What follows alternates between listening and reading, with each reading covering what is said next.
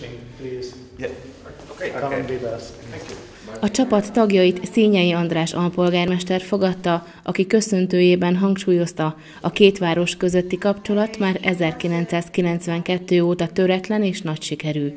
A települések nem csak vezetői, hanem kulturális, turisztikai, sportéleti szinten is jól együttműködnek egymással. A látogatások kölcsönösek, és a jövőre nézve is számos programot valósítanak majd meg együtt. A csapat edzője Hans von Horn örömét fejezte ki a testvérvárosi település meghívását illetően.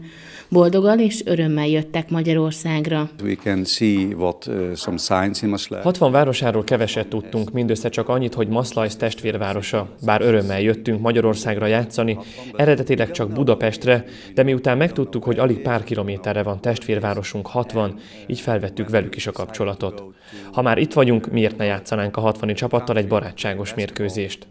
A Maszlajszi kosárlabda csapat 13 évvel ezelőtt alakult. A tagok közül sokan dolgoznak, így nehéz a sportra időt szánni. De mindent megteszünk, így is azért, hogy jó csapatunk legyen. Játszottunk már Belgiumban is. Remélem ma sem okozunk majd csalódást, és a későbbiekben mi is viszonozhatjuk a 60 vendégszeretetét.